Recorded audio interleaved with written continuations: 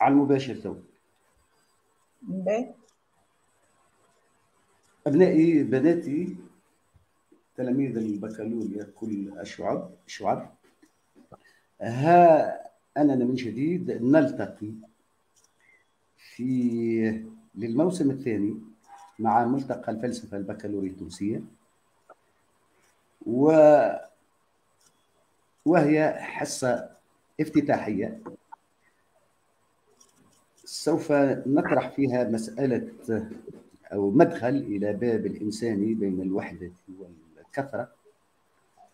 ونحب نذكر اللي ملتقى الفلسفة لا يعوض الدرس في القسم هو يساعد على توسيع وتعزيز وتدعيم المهارات المعرفية والمنهجية للتلميذ في القسم. ون عملوا نصف البرنامج استثناء البرنامج كامل. وما تخافوش من الفلسفة لأن الفلسفة عام اول الإحصائيات ساهمت مساهمة كبيرة في نسبة النجاح في البكالوريا. ثم شكون خذا 20 19 ولهذا نحب نقول اللي الفلسفة ما تخافوش منها.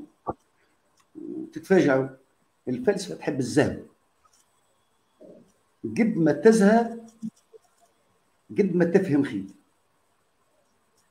ولذلك التركيز على المهارة المهارات خاصة المنهجية مطلوبة ومطلوبة خاصة لأنه التلميذ البكالوريا على الأقل حد أدنى معرفي حد أدنى لغوي وحد أدنى منهجي. وهو ما يتطلب أن يكون التلميذ على الأقل عنده قدرة على عنده رغبة في المطالعة لأنه مش من السماء تهبط تولي تفهم الفلسفة لأن الفلسفة في نهاية الأمر هي التفكير في في الوجود في الواقع في حياة الناس. التعقيد الموجود في الخطاب الفلسفي هو تعقيد الحياة نفسها. هذاك علاش الملتقى الفلسفة بإشراف لأمن المداخله نتاعو جملة من اساتذه من كامل أنحاء الجمهورية إضافة انه عندنا برنامج لمسايرة ومتابعة ما ترونه وما تتابعونه في في القسم وكل الأساتذة على ذمتكم في طرح التساؤلات نتاعكم. نجول الحصة اليوم باش ما نطولش برشا خاصة الأساتذة نحن نتحدثوا برشا نتكلموا برشا هذاك علاش نطيحوا فيسا برشا هذه كل من أجل مصلحتكم. يسعدني في هذه الحصة أن نستقبل في الواقع أنا نحب نعطيها صفة الشاعرة قبل الفيلسوفه الأستاذة ملكه جبابلي مباشرة من تونس العاصمة. في مداخلة في الواقع طريفة لانها ستنطلق من وضعية استكشافية موجودة عندكم في الكتاب المدرسي. الكتاب المدرسي وهي القصيدة مقطع من قصيد الطلاسم. غناها عبد الوهاب وغناها عبد الحليم وأعتقد الناس اللي كنا نتبعوا نحن وقتها نحن الكبار فوتنا 50 سنة كنا نتبعوا. وغناها عبد الوهاب قصيدة رائعة جدا. آه، الطريف فيها هو أن المسابقة بين الأدب والفلسفة وهي تطرح الأسئلة الحارقة للوجود الإنساني. ستنطلق الأستاذة ملكه شبابلي من هذه الوضعية. بطريقة طريفة جدا لتطرح لا تطرح أجوبة أعتقد وإنما تطرح تساؤلات تتعلق بالإنسان. على السؤال الأول لماذا آه، هذه النقلة من سؤال ما الإنسان إلى سؤال الانساني ما الذي تغير؟ لأن السؤال آه، عندما نعود إلى سقراط سقراط غير من اتجاه السؤال الفلسفي من سؤال الفيزيائيين الأوائل. حول الطبيعة حول الكون حول أسرار الكون حول ألغاز الكون إلى آخره.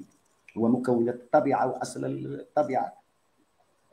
إلى نقله إلى سؤال الإنسان. أيها الإنسان أعرف نفسك بنفسك. هنا هذه النقلة النوعية في الخطاب الفلسفي. هي التي سوف تمتد إلى كانت على الأقل في إلى إلى كانت. عندما طرح السؤال ما الإنسان؟ الغريب في الأمر الطريف وهذا رايته رأيتموه في القسم لماذا؟ هذا الانتقال من سؤال ما الإنسان؟ وهو سؤال يفترض وجود ماهية ثابتة بسيطة متعالية وهو وهو سؤال ميتافيزيقي للإنسان إلى حيث ينقل السؤال إلى يصبح سؤال آه، تاريخي. ينزل الإنسان في إطار الكثرة في إطار التعدد في إطار التنوع. وبالتالي يسمح لنا هذه تسمح لنا هذه النقلة من فهم لماذا نطرح سؤال الانساني بين الوحدة والكثرة. لا أطيل عليكم لأن سنعود ربما سيلتحق بنا الأستاذ عماد حمدي فيما بعد لنطرح هذا السؤال. اذا اسمحوا لي مرحبا بك آه، مليكه مرحبا مرحبا بك بكل متتبعي الملتقى شكرا لك على الدعوة. خذيناك نهار السبت آه، وأنت جيتي من القسم تقريبا وبارك الله فيك يعطيك الصحة وهذا ليس غريب عن عليك وعلى بقية الساده الاساتذه اللي ساهموا معنا في إنجاح تجربة الملتقى. لو تسمحي آه، نعد للطريف أنه مقطع قصيد الطلاسم لإيليا أبو ماضي بصوت مليكة إجباري.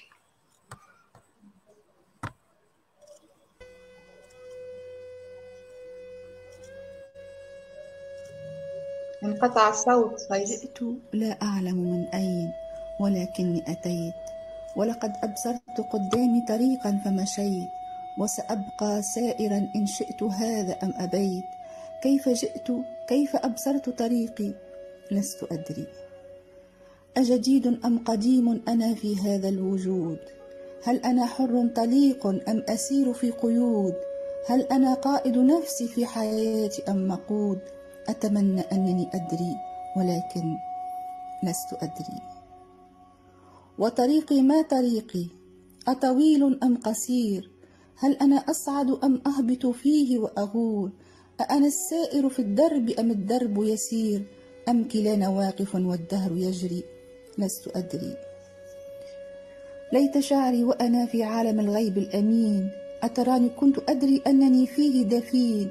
وبأني سوف أبدو وبأني سأكون. أم تراني كنت لا أدرك شيئا. لست أدري. أتراني قبل ما أصبحت إنسانا سويا؟ كنت محوا أو محالا؟ أم تراني كنت شيئا؟ ألي هذا اللغز حل؟ أم سيبقى أبديا؟ لست أدري. ولماذا لست أدري؟ لست أدري.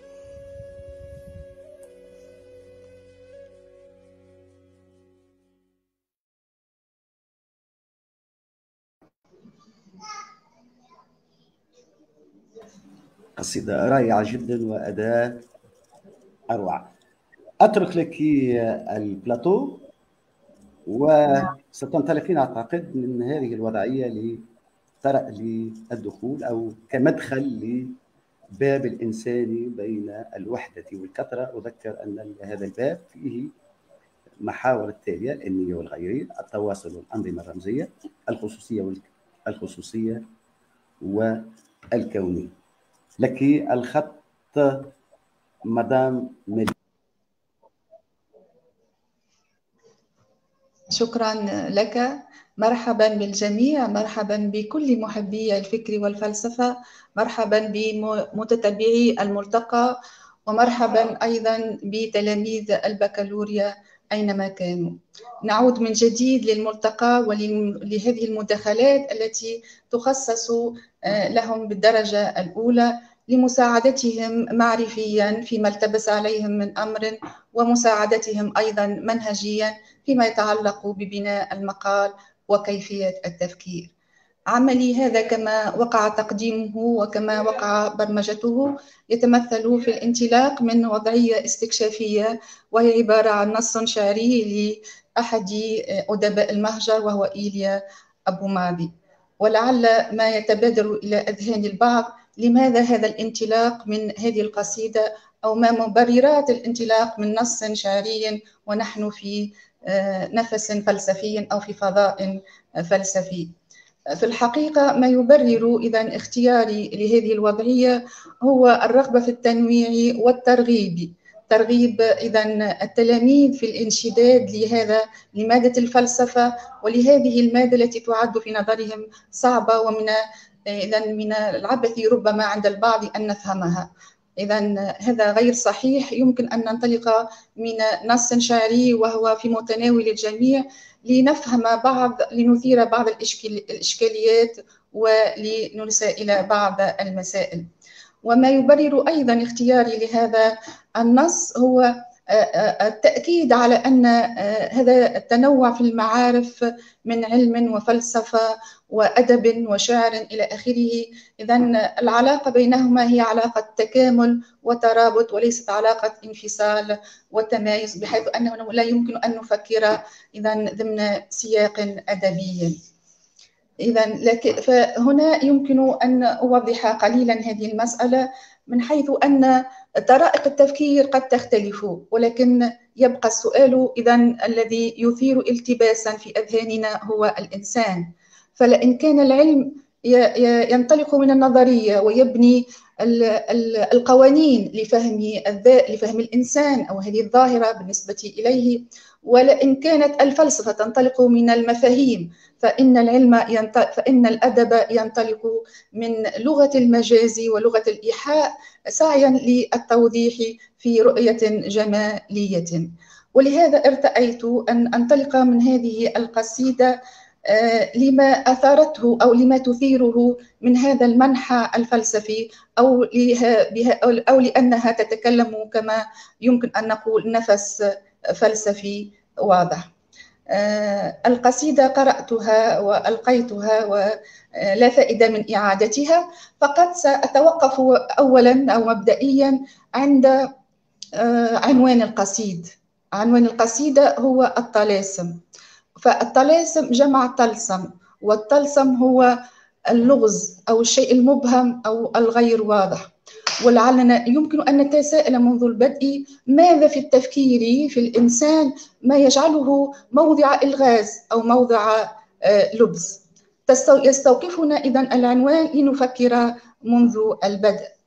إذا ثم ننتبه من خلال قراءتنا للقصيد أن هذا النص مثقل بجملة من الأسئلة الفلسفية التي تتمحور أساسا حول الأنا وعن حقيقتها وعن لماذية وجودها. هذه الأسئلة المقذة التي تلح علينا في طرحها يمكن أن نحددها على النحو التالي. أي شيء أنا؟ ماذا يمكن أن أكون؟ كيف وجدت؟ وإلى متى أستمر في الوجود؟ وما قصدية هذا الوجود؟ إنها أسئلة تكشف عن وجود ذات قذف بها في هذا الوجود من غير اختيارها. فلا أحد منا اختار أن يوجد. لا أحد منا اختار الزمان أو المكان. لا أحد منا اختار الوالدين. إننا وجدنا. ولما كنا قد وجدنا علينا أن نختار وأن نصنع ما يمكن أن يكون هذا الوجود. وعلى هذا الأساس يمكن أن نتساءل. هل أن للإنسان ماهية؟ تحدد بها بشكل مسبق بحيث لا يمكن له أن يصنع وجوده أو أن ينحت هذه هذا الذي يريد أن يصنعه أم أنه إذا ذات إذا قادرة على الفعل وعلى تحديد ذاتها انطلاقا من كونها ذات حرة. إن هذه الأسئلة التي تطرحها القصيدة إذا تكشف عن أحد العوالم التباسا ألا وهو هذا الكائن الملغز بلغة جيل دولوز وهو الإنسان فماذا يمكن أن يكون الإنسان؟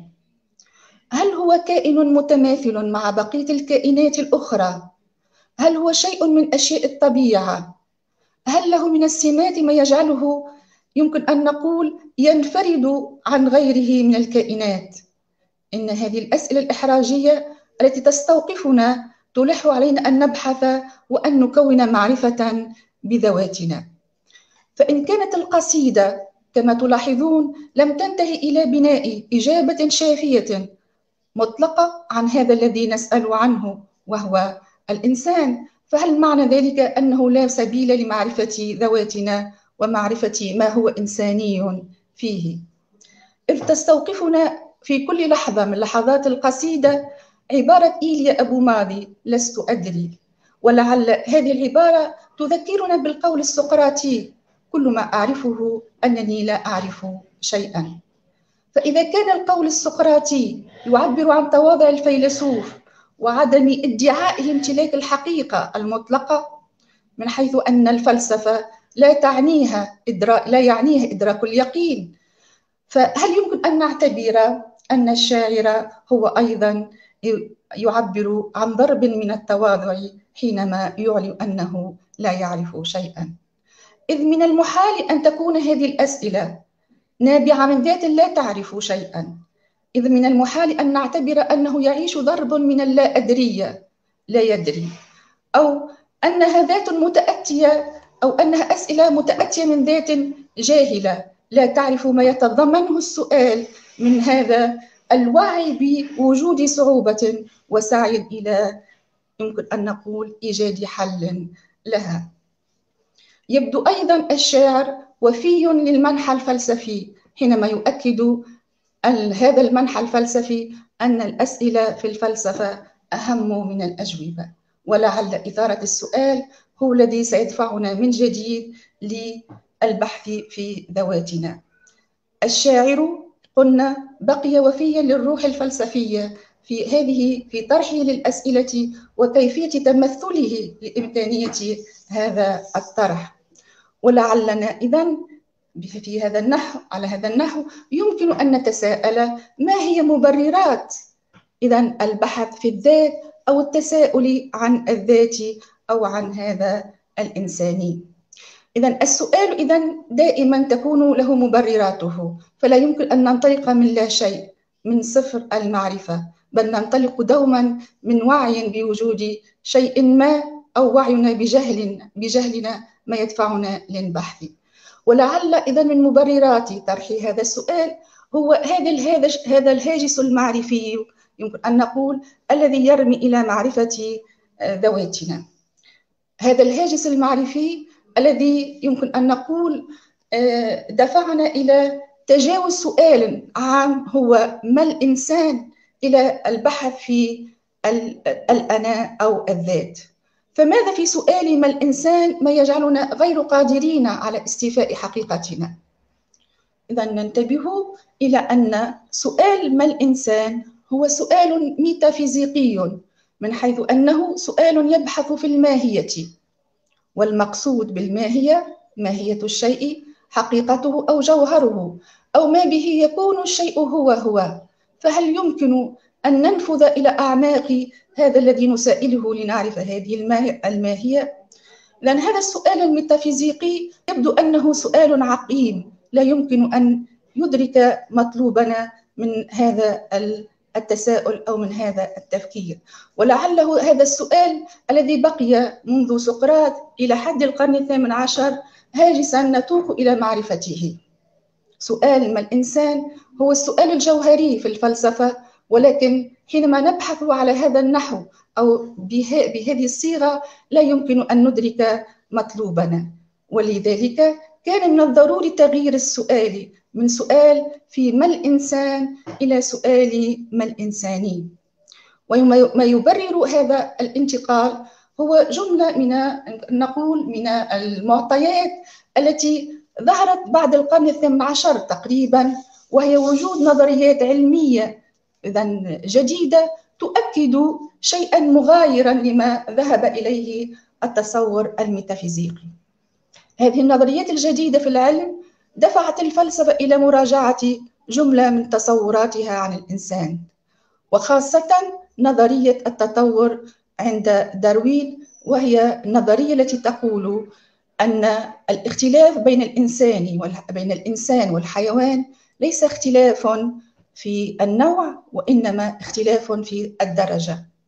فنظرية النشوء والارتقاء عند داروين تذهب إذا على نحو مخالف لما أن نقول لما كان يقيني في الفلسفة ولا يمكن رجه أو أن نضعه موضع سؤال أو موضع استفهام.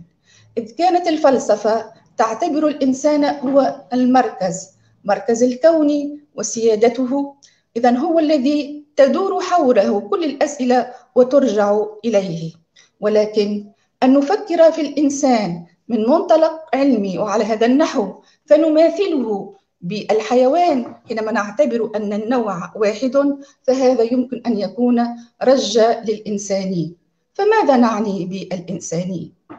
الإنساني حينما نفكر في الإنساني أي أن نفكر في الخاصيات التي ينفرد بها الإنسان من حيث كونه إنسانا عن الكائنات الأخرى وتحديدا عن الحيوان فالإنساني هو هذا الحد الفاصل أن نقول بين الوجود وجود الإنسان ووجود الحيوان. ولكن حينما نحاول أن ننظر للإنسان من هذه الوجهة أن ليس هناك ما ينفرد به من حيث كونه إنسانا فهذا يمكن أن يكون إذا رجة لمكتسباتنا ولكل معتقداتنا الفلسفية. ينضاف إلى هذه النظرية نظرية النشوء والارتقاء في البيولوجيا مع داروين. النظرية الثانية وهي مستجدات التحليل النفسي. هذه المستجدات التي تؤكد بشكل علمي أنه لا مجال لأن نبقى في اعتقادنا الوثوقي في أن الإنسان كائن عاقل أو كائن الوعي بامتياز. استكشف نظرية فرويد نظرية التحليل النفسي عن وجود مواطن لا شعورية أو مسارات لا شعورية تحكم حياتنا النفسية. فما عاد الأنا هو السيد الذي يوجه الفعل والسلوك حينما نقول الأنا بمعنى الوعي الإدراك بل ثمة مسارات لا شعورية هي التي تحددنا. فكيف يمكن إذا أن نعتقد في سيادة الإنسان ومحوريته أن نقول وقدرته على أن يكون هو الكائن المتميز في هذا الوجود. إذا لا حاجة لنا لمواصلة الاعتقاد في هذا المنحى الميتافيزيقي.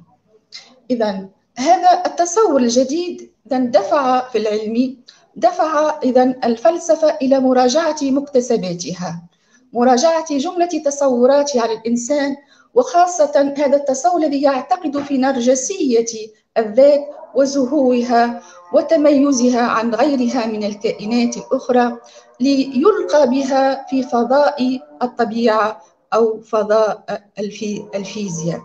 إلى حد يمكن أن نماثلها بالأشياء ويمكن أن نماثلها بالإنسان بالحيوان.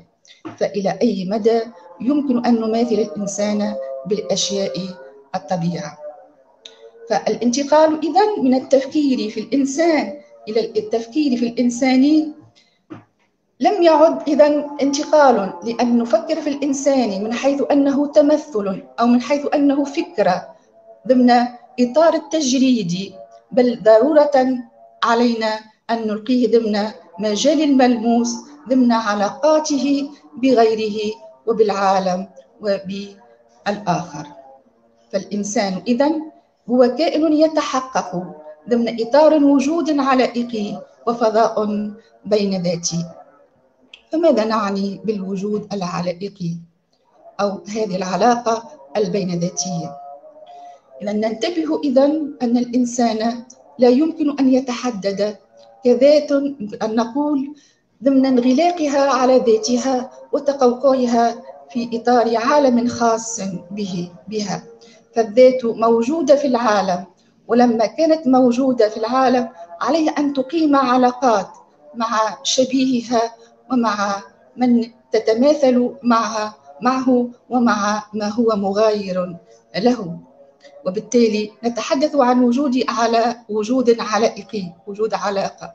سنبحث فيما بعد في طبيعة العلاقة ولكن علينا منذ البدء أن نؤمن أو أن نعتقد في وجود علاقة. وحينما نتحدث عن فضاء بين ذاتي أي عن فضاء بين الذوات.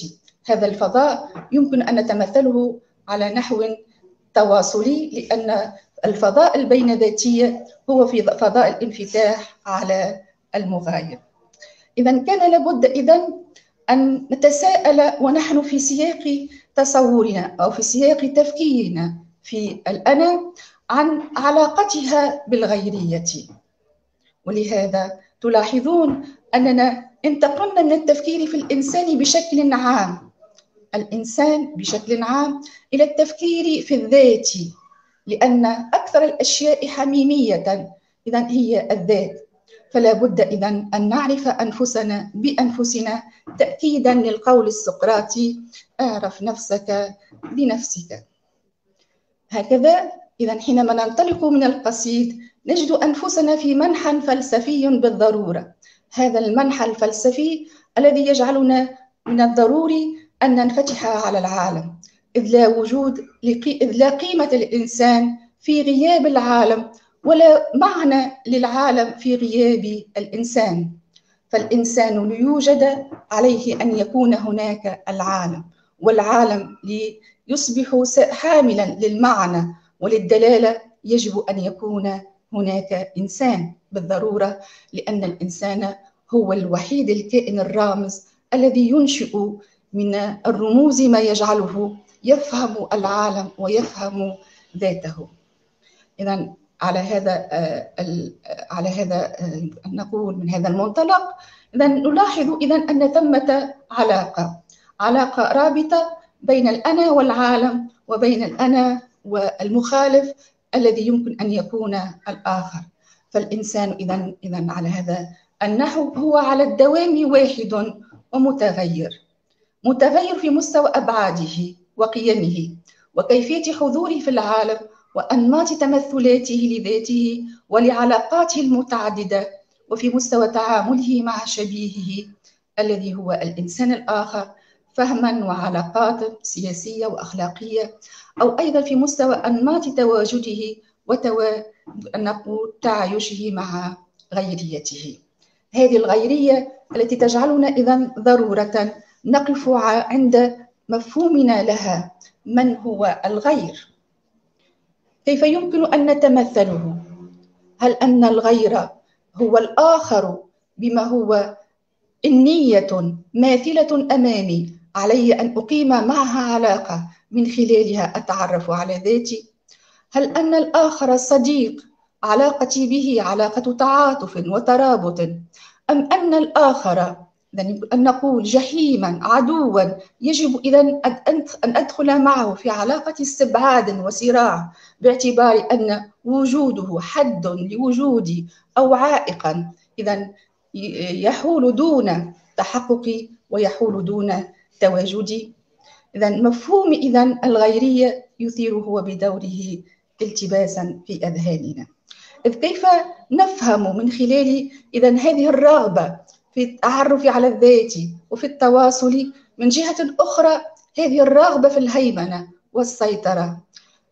بطبيعة الحال ونحن إذا نسائل أنفسنا ونسائل ذواتنا يمكن للذات إما أن تنتهي إلى تكريس نوع من الانغلاق على ذاتها من منطلق اعتبار أن الذات قادرة على معرفة ذاتها إذا دون حاجة إلى الآخر باعتبارها. إذا هذه الذات إذا كما نفهمها ضمن سياق ديكارتي إذا ذات مكتملة ومتحققة ولا حاجة لها لأن تقيم هذه العلاقة مع الآخر.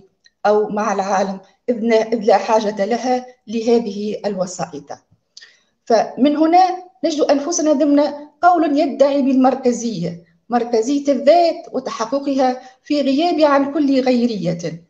ولكن من جهة أخرى يمكن أن تنتبه هذه الذات وهي في وجودها في العالم أنها لا يمكن أن تدرك ذاتها بذاتها وإنما ضرورة عليها أن تقيم علاقة مع من هو مخالف أو مع, مع من هو مغاير لها باعتبار أن وجود الغيرية إذا يضيف إذا معاني وتحقق يمكن أن نقول هذه النية إذا إما إذا أن نفهم العلاقة ضمن مجال التوافق أو التواصل أو التناغم أو ضمن مجال الصراع والاستبعاد والهيمنة.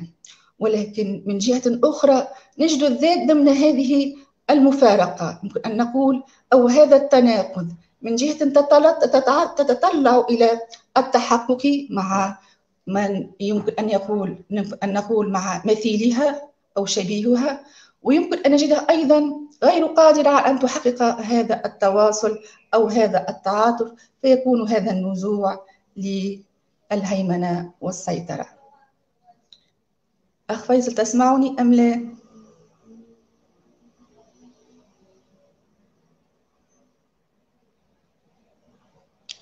إذا يبدو أننا إذا نعيش في واقع يحكمه إذا جملة من التناقضات ذات تتطلع إلى التحقق لتكتشف ذاتها ضمن هذه العلاقات المختلفة يمكن أن نقول علاقات تجعلها تبني وجودها وتؤكد إذا مشروعية هذا التحقق. مشروعية وجود الإنسان من حيث كونه إنسانا يحمل من الخاصيات ما ينفرد أو ما يتميز به عن غيره من الكائنات. ولكن نلاحظ أن سؤالنا عن الإنسان يبقى سؤال إذا يتراوح بين الوحدة والكثرة. هل يمكن أن نقول أن الإنسان إذا هو واحد من حيث قدرته على الاكتفاء بذاته وتحققه. أم هو كثرة عليه أن يتحقق ضمن علاقات؟ هذه العلاقات لا نفهمها فقط ضمن علاقات بين ذاتية وأيضا وإنما أيضا ضمن علاقات بين ثقافية علاقات تجعله ينفتح على العالم بشكل مطلق ينفتح على العالم ليتحقق ويحقق لقاءه بالإنسان لقاء إذا يكون مبدعا وخلاقا إذا هذا اللقاء الذي فيه يتحقق هو من حيث كونه النية ويتحقق الآخر من حيث كونه أيضا ذات واعية ومريدة ومتحققة. فإلى أي مدى يمكن أن نؤكد ذلك؟ ضمن الواقع الفعلي واقع الإنسان بما هو موجود ضمن علاقات فعلية. هذا الواقع الذي يحكمه الصراع والنزاع والرغبة في الهيمنة والسيطرة. يحكمه واقع يحكمه منطق البقاء للأقوى والبقاء لمن يمتلك هذه القوة ويمتلك أدوات الهيمنة والصراع. تسمعني فيصل؟ في الحقيقة لا أسمعك. الآن هل تسمعينني جيدا مدام مليكة؟ نعم. نعم. هو شوية حتى الكبر عنده دور في السماع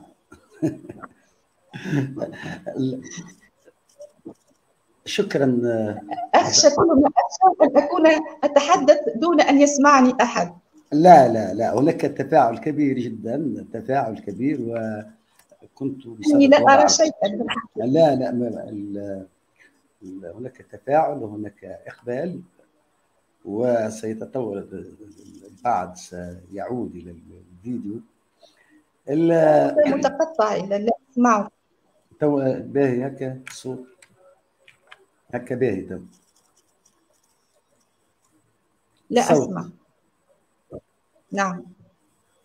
الص... متقطع. نعم أسمعك الآن. شكرا استاذه مليكه على هذا المدخل المتميز والواضح والذي يراعي مستوى التلميذ. فيش ويدل على تمرس وخبرة. لا بعض الملاحظات لا أسمعك فيصل. هناك مشكلة في الصوت أعتقد. الصوت متقطع لذلك لا أستطيع أن أتواصل معه. الآن هل الصوت جيد؟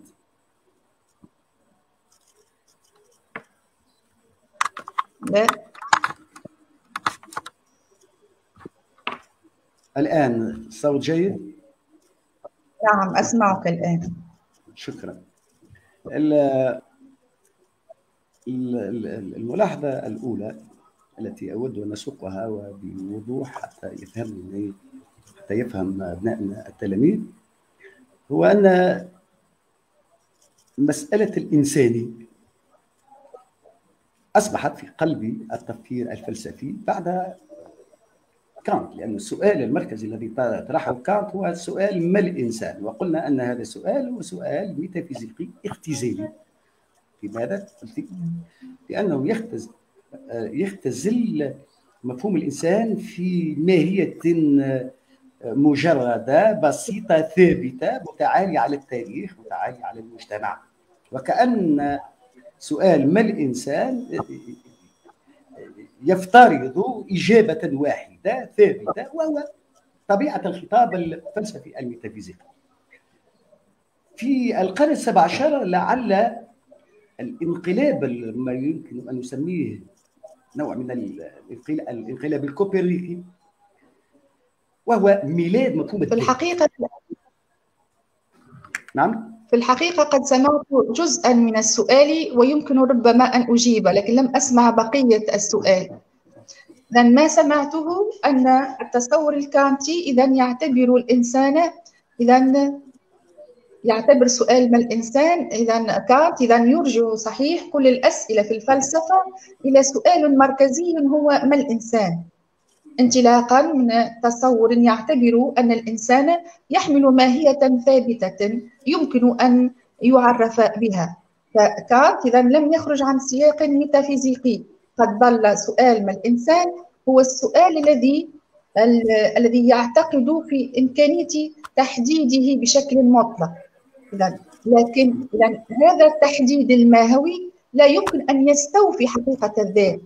من منطلق اعتبار أن الإنسان لا يحمل ماهية وإنما يحمل أبعادا. وبالتالي نمر من سؤال ما الإنسان إلى سؤال ماذا يمكن أن يكون الإنسان؟ إذا انطلاقا من ما وجدناه من مستجدات التحليل النفسي وما أثارته أيضا آه، ما أثاره بعض الفلاسفة أو بعض الفلسفات التي إذا تناولت مسألة آه، الإنسان من منطلق التظنن على فكرة آه، آه، وجود إذا تعريف نهائي للإنسان بما هو مثلا الإنسان كائن عاقل أو كائن واعي بامتياز. فلاسفة الظن إن فلاسفة الارتياب الذين شككوا في هذا هذه آه، هذه النظرة الاختزالية للإنسان وفي القول بسيادة الوعي وقدرته على أن يكون هو المحدد للذات الإنسانية. فما نشهد مع الماركسية مثلا القول بحدود الوعي الوعي محدود فالوعي كنا القول الوعي محدود فالوعي مرتبط بأي حد بحد اجتماعي. فالإنسان إذا ما عاد ينظر إليه ضمن سياق ميتافيزيقي بل وقع إدراجه ضمن التاريخ. فالإنسان هو الكائن الوحيد الذي آه الذي يصنع تاريخا آه لنفسه. لم نجد إذا كائنات أخرى صانعة لتاريخها ولا نتحدث عن تاريخ آخر سوى تاريخ الإنسان. فالإنسان إذا يتحدد بما هو كائن تاريخي. إذا على الأقل انتبهنا إلى وجود بعد آخر من أبعاد الإنسان ألا وهو التاريخ وهو الذي به يعرف. إذا التصور إذا تصور أو حتى حتى قبل نيتشه إذا سبينوزا الانتباه إلى وجود بعد آخر يحدد الإنسان وهو الرغبة. فالرغبة أو الجسد إذا آه، هو إذا موجود ولا يمكن إنكاره كما تنكرت له الفلسفة الميتافيزيقية. وحضوره له هذا الحضور المكثف الذي يمكن من خلاله أن يكون أن يكون الإنسان إذا محدد من أن يكون هذا الجسد هو قوام وجوده. فأنا لا يمكن أن أتمثل ذاتي. حينما نسائل آه، ذواتنا. لا يمكن أن أتمثل ذاتي كإنية كإنية أي كفكرة آه، آه، مجردة. إذا لا حضور لها في العالم. باعتبار أن التصور الميتافيزيقي يختزل الإنسان في العقل.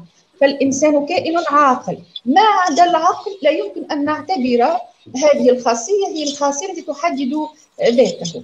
إذا هذا التصور ما عاد له من المشروعية. إذا باعتبار أنا نفهم اليوم إنسان ضمن الواقع فأنا موجود. باعتبار ماذا؟ باعتبار صحيح آه، وعي كائن واعي ولكن أيضا من خلال جهة كوني آه، وجود أو حضور هذا الجسد. فجسدي هو قوام وجودي. جسدي هو الذي يحقق تواجدي في العالم. فأنا ذات متجسدة في العالم. وحضوري هو حضور هذا الجسد الذي به أعرف. وبالتالي إذا نلاحظ أننا خرجنا من سياق تجريدي يمكن أن نقول إلى سياق واقعي.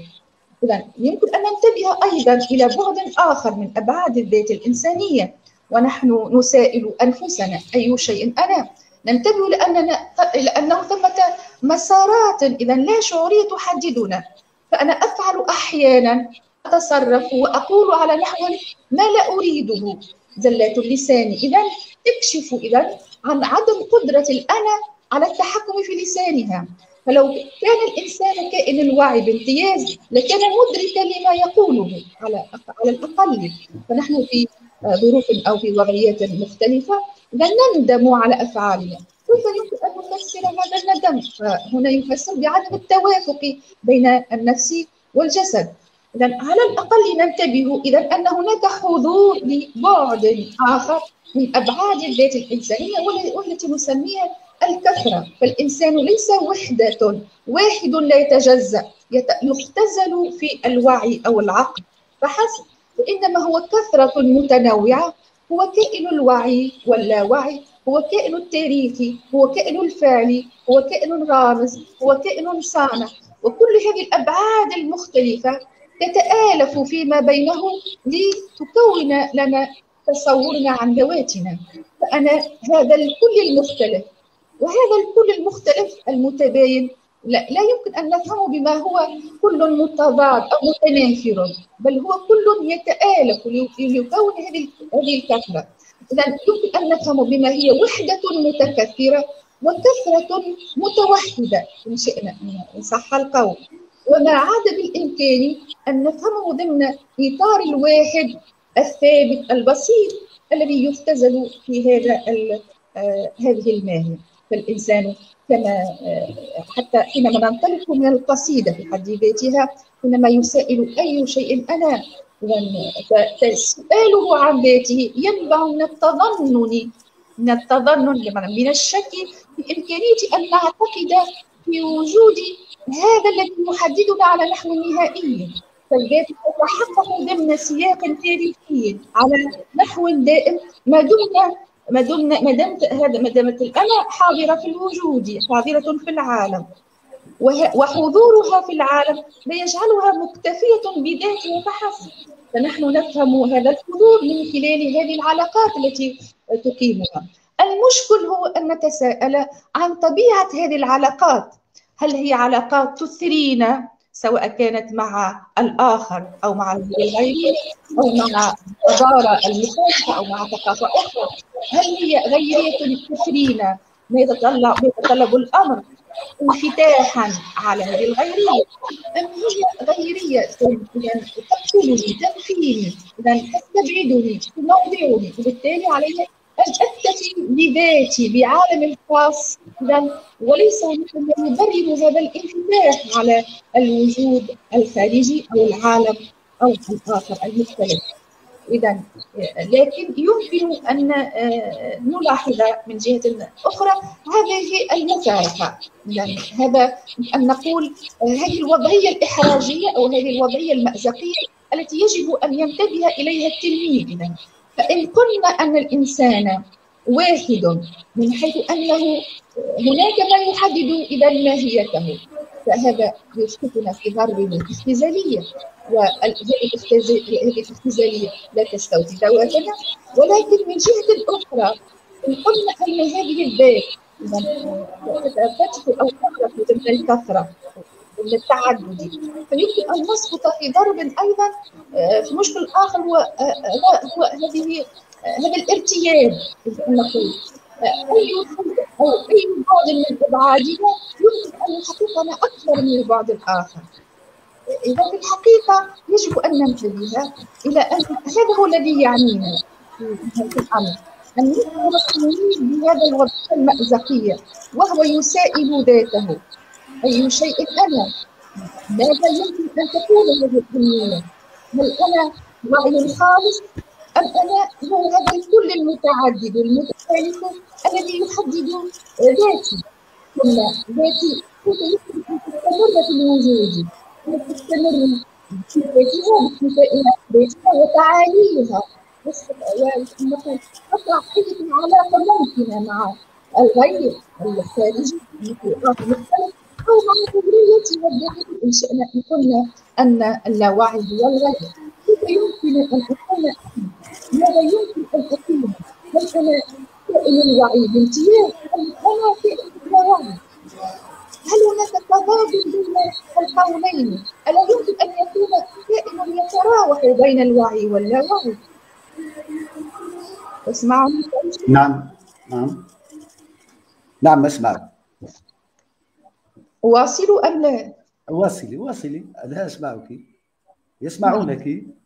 لهذا لهذا كما قلنا علينا أن ننتبه إلى هذا البعد الإشكالي في تناول مسألة آه، الإنساني بين الوحدة والكثرة والذي تتفرع عنه هذه آه، المسائل مسألة الإنية والغيرية والتواصل والأنظمة الرمزية والخصوصية والكونية وهي المسائل التي فيها يمكن أن نتعرف على آه، هذه الذات التي نسائلها ضمن سياقات مختلفة. ذات إذا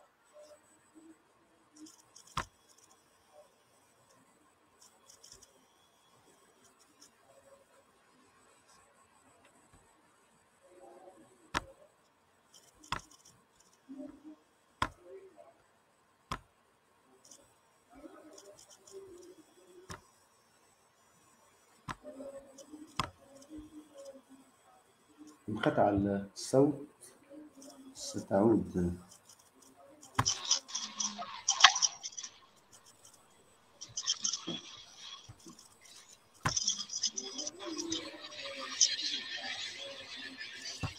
أخ فيصل. أخ فيصل. نسمعك الآن نسمع. انقطع الصوت انقطعت الصورة. الآن عادت الصورة. واصلي. هل هل انتهيت أستاذة؟ لا في الحقيقة في الحقيقة أريد أن أن أتواصل معنا. لا أدري إن كنتم معي أم لا.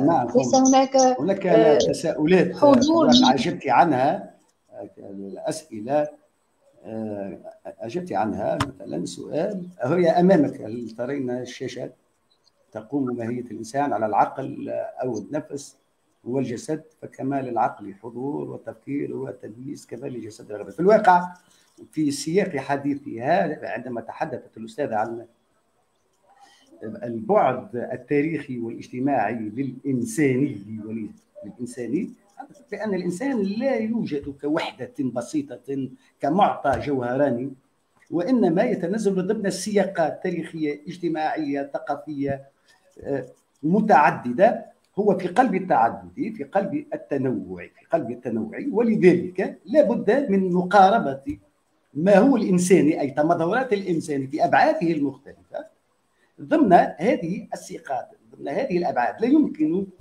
ليس مفهوم الإنسان الإنسان مفهوما بسيطا إنه يتنزل ضمن هذه الأبعاد. في الواقع هناك تساؤل سيرون أعتقد ربما نستبق الدروس لأنه الكلام ده تم غير دخل النيه الصوت. متقطع. النيه الصوت. متقطع. الآن هل واضح؟ أنا لا أسمعك أخ فيصل هناك سؤال أنا لا أسمع لم أسمع. السؤال لا لم لا أسمع. آه، آه، الآن هل تسمعينني؟ الصوت متقطع جدا هناك مشكلة في تقنية الصوت الآن أسمع الآن. الآن لا. أسمعك. في الواقع أريد أن أعود إلى بعض التعاليق. ال- هي أمامك أستاذة في على الشاشة. مكننا هناك متدخل لم يظهر اسمه على الشاشة ربما في في الصفحات. مكننا هذا المدخل الإشكالي. آه، الإنساني بين الوحدة والكثرة من تتبع أبرز المسارات الإشكالية التي يعج بها توتر الإنسان بين طلب الوحدة ومطلب الكثرة. أقرأ السؤال. سؤالي يقول هل لنا أن نميز في السؤال حول الإنسان بين المعرفة معرفة الذات لذاتها ومسار الاعتراف الممزوج بالصراع والمواجهة من ناحية والتواصل والحوار من ناحية أخرى؟ السؤال معقد جدا ربما يستبق ما سيرونه. قرأت سؤال. السؤال أمامك. على الشاشة. أعيد. لا لم أسمع السؤال في الحقيقة. هو مكتوب أمامي حاولت أن أسمع لكن الصوت متقطع. لا أفهم إذا ما السؤال الحقيقة. السؤال موجود موجود على الشاشة.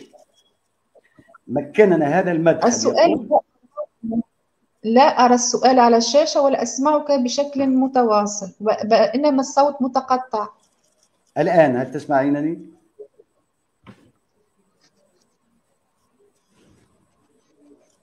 لا هناك مشكلة في الصوت ربما المتابعين ربما يعطونا الملاحظة هل الصوت جيد ولا لا؟ لا أسمعك. رجاء التدخل على مستوى جودة الصوت. يمكن تحسين الصوت في الحصص المقبلة كجهدي الآن قضية تدفق الإنترنت ربما. الآن هل تسمعينني؟ لا أسمعك.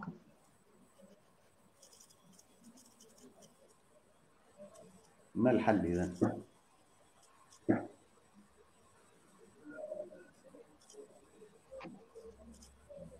أجل يقولون أن الصوت جيد. جتني الملاحظات الآن أن الصوت جيد. الآن يسمعوا أنت ما... الآن الصوت سمعته. الآن سمعته. باه السؤال الذي طرح في الواقع أردت أن قبل السؤال أن أقول بأن الآن الصوت صار متقطعا. لا أدري لماذا. إذا حينما تبدأ منذ البداية. يكون الصوت جيد حينما تواصل الحديث يصير متقطعا. حينما تبدأ إذا يكون الصوت جيدا حينما تواصل حديثك يتقطع جاءتني الآن ملاحظة يقول أن انهم يسمعونني جيدا أنا لا أسمع. لا المشكلة في ال في ال عندك أنت ربما. في ال في الإنترنت ربما التدفق خاطر تمشي تطلع وتهبط التدفق دي بي الآن أسمعك الآن سمعتك. فقط أقول هذه الملاحظه التي سيراها سيراها التلاميذ ربما وهي نعم. مسألة انبجاز مفهوم الذات التي نعم. الذاتية مفهوم الذاتية في منذ القرن فهمت المقطع. نعم؟ أخ فيصل نعم. ما سمعته هو أن أتحدث عن انبجاز مفهوم الذات. مفهوم الذات. نعم. في القرن السابع عشر يمكن أن أتحدث. نعم يمكن أن فيما يتعلق بانبجاس مفهوم الذاتي مفهوم الأنا. مفهوم الأنا إذا أو مفهوم الذات إذا لم يكن بالإمكان أن نتحدث عنه قبل القرن السابع عشر تقريبا. فيرجع ذلك إلى انبجاس مفهوم الإنية أو مفهوم الأنا أو الذات كان مع الديكارتية مفهوم الكوجيتو. فمع القرن السابع عشر يمكن أن نتحدث عن ميلاد الأنا أفكر أو ميلاد الإنسان. ميلاد الإنسان الذي يعبر نعم الحدث القرن السابع عشر. ميلاد ذات إذا قادرة على أن تفكر قادرة على أن تسائل ذاتها وأن تتعرف على ذاتها بذاتها. فقبل القرن السابع عشر نتحدث عن مفهوم الإنسان مفهوم الإنسان بشكل عام. إلى حد أن ديكارت هو في حد ذاته وهو يسائل إذا التعريف السقراطي يؤكد على ضرورة تجاوز هذا التعريف العام إلى إلى العودة إلى الذات أو العودة مع ديكارت ينطلق من مفهوم الإنية كمبدأ وكمنطلق يؤسس عليه إذا كل المعارف الأخرى. فنحن نعرف إذا انطلاقا وفي الحقيقة ولكن لا بأس. إذا ما دام هناك سؤال حول الإنية إذا كيف يمكن أن نؤكد أو كيف اكتشف ديكارت إنيته؟ نحن نعرف أن اكتشاف الإنية كان عن طريق الشك. الشك إذا بما هو منهج قاد ديكارت إلى معرفة ذاته بذاته. إذا فمعرفتنا بذواتنا لم تكن عن طريق وساطة خارجية سواء كانت وساطة العالم أو وساطة الجسد. فنحن نعرف أن مع ديكارت الجسد مو... الجسد أي الحس الجسم عفوا ليس الجسم الجسد بما هو موطن الحواس إذا موضع إذا شك. إذا شك في ديكارت في حواسه إذا شك, ديكارت في العالم الخارجي. شك ديكارت يقول لا سماء ولا أرض إذا ولا إله. إذا هناك تدرج في مستوى الشك إلى أقصى إلى الشك الميتافيزيقي شك في العقل. اذا هذا الشك عند ديكارت لم يزده إلا يقينا أنه موجود. باعتبار من يقوم بكل هذه آه، الأشياء جميعا. بمعنى من هو وهو يمارس الشك؟ اذا من يمكن أن يزيده يقين بأنه موجود هو الشك في حد ذاته. فينتبه ديكارت ينتبه قلت ديكارت بمعنى آه، وعي الذات بذاتها وهو ضرب من الحدس الوعي المباشر. إذا وعي الذات بذاتها أنها تشك الآن. فما معنى أنها تشك؟ بمعنى أنها تفكر. فالشك لا يزيد ديكارت إلا يقينا بأنه يشك أي أنه يفكر. فأنا الشك أنا أشك معناه أفكر. وأنا أفكر ضرورة أنا موجود لأنه لا يمكن أن أكون أفكر ولا أكون موجودا. فبالضرورة يجب أن أكون موجودا في العالم.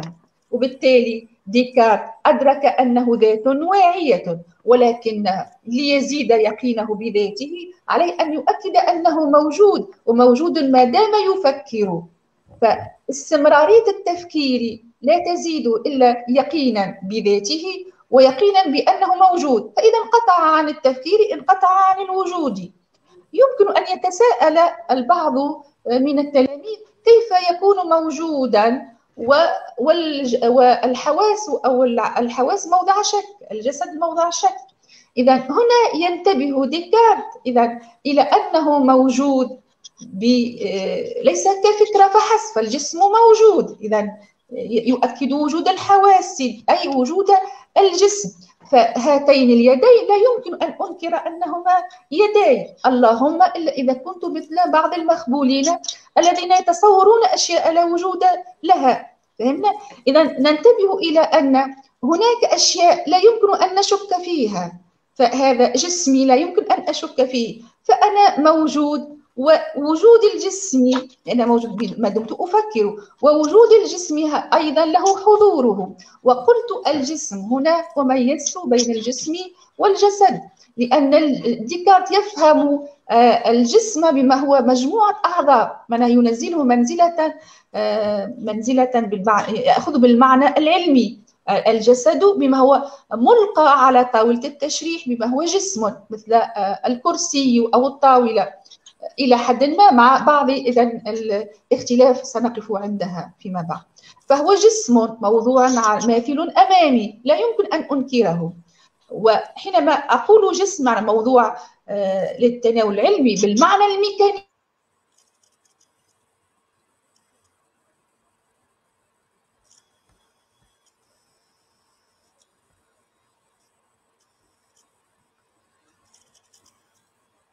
انقطع الصوت. مرة أخرى مرة أخرى.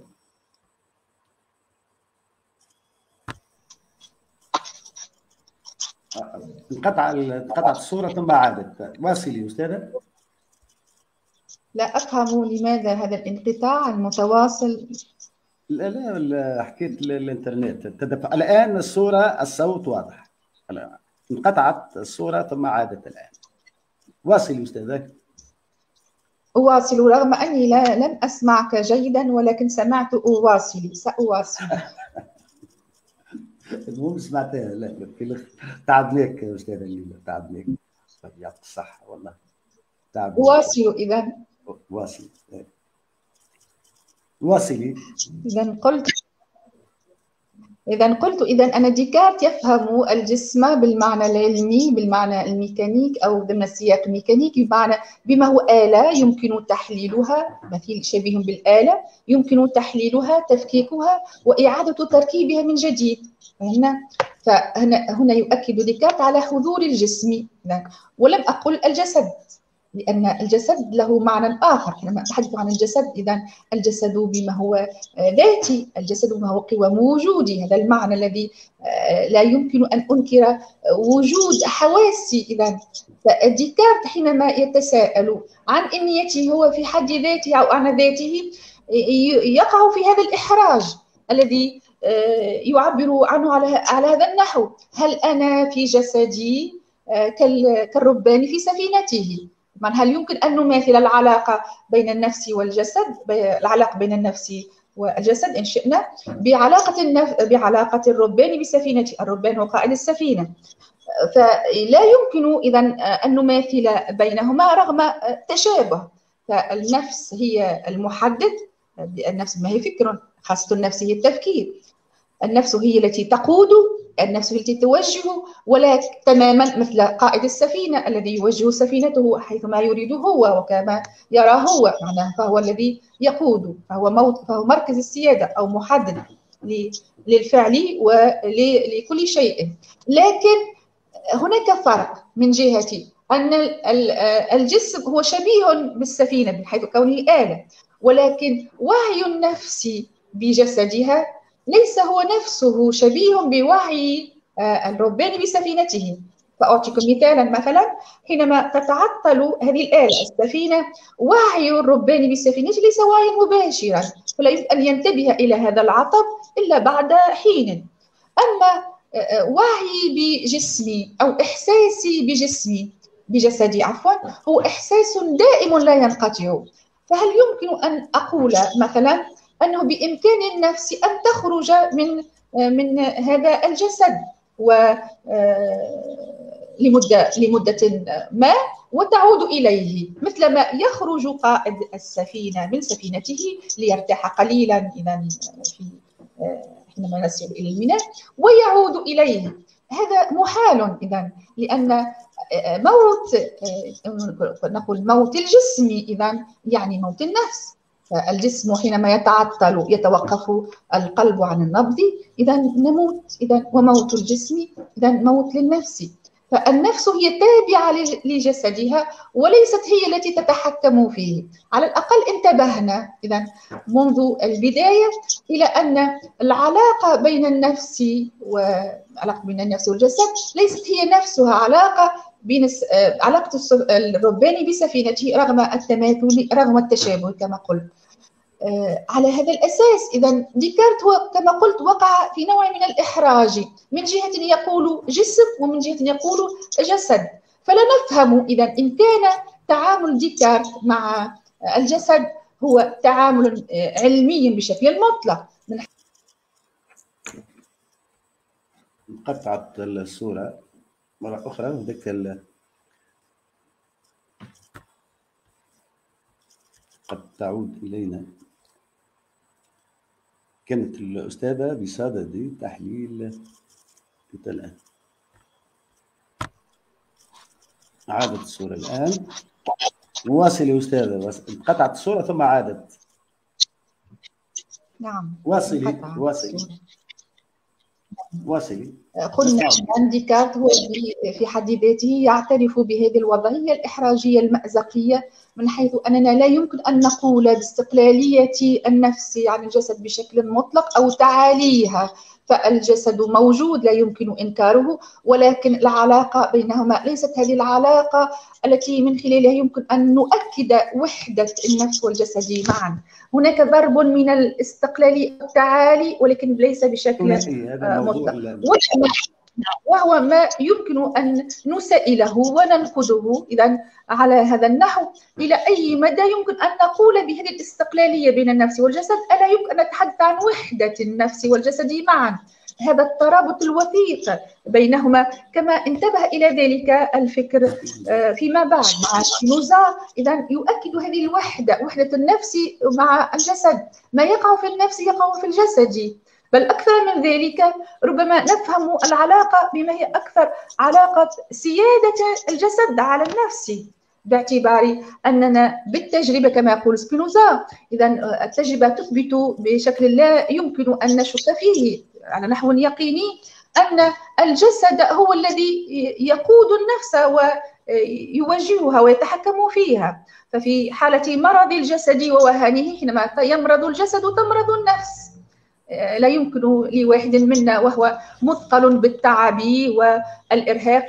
مثلا الجسد مرهق والنفس تفكر أحسن ما يكون التفكير. إذا لا يمكن أيضا في حالة المرض أن يكون التفكير جيدا. والأكثر من ذلك حينما يموت الجسد تموت النفس معه. لاحظوا إذا أن هناك آه، إلى حد ما القول الضمني بأن الجسد هو هذا القوام الذي يحددنا بشكل مطلق. فهو وجودي فأنا لا أكون إلا به وحضوري. إذا هو حضور دائم بحضور هذا الجسد. إذا آه، لاحظوا إذا إذا آه، المسألة هي مسألة آه، دقيقة حيث أن الإنية تساؤلنا عن ذواتنا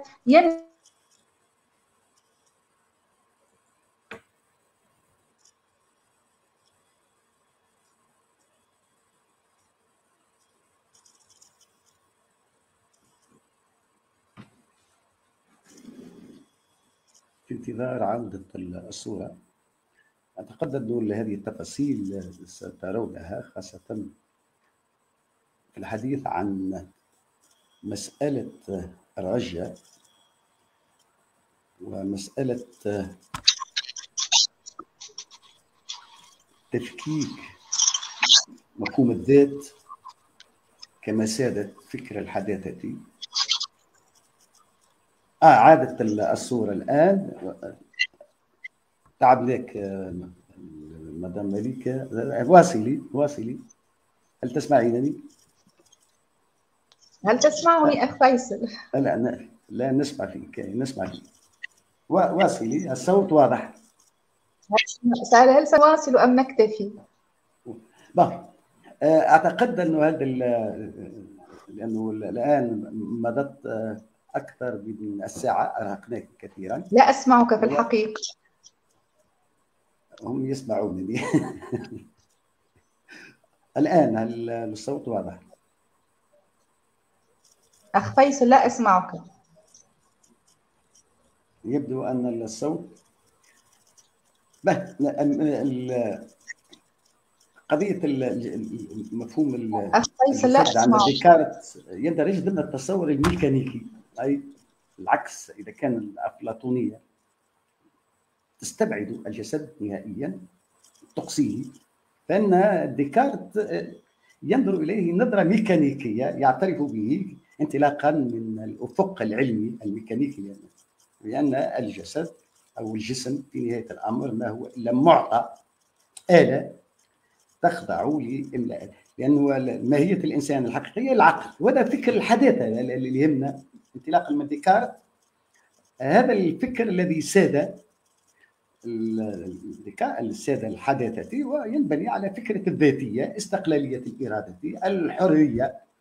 وهي ما يمكن ما يميز هذا الفكر الحداثي الذي ساد منذ القرن السابع عشر حتى هو هو هو الطغيان ما يسمى بالنزعة الإنسانية اعتبارا ان الإنسان مركز الكون مركز الوجود وأن الانسان وتقديس العقل في نهاية الأمر تقديس العقل تقديس فكرة الإرادة وهو ما رأيناه مع رايتموه مع ديكارت عندما انطلاقا من مفهوم الكوجيتو مفهوم مفهوم الذات المفكرة مفهوم الأنا سيدة العالم ما يفسر حلم ديكارت بأن نكون سادة على الطبيعة ومالكيها.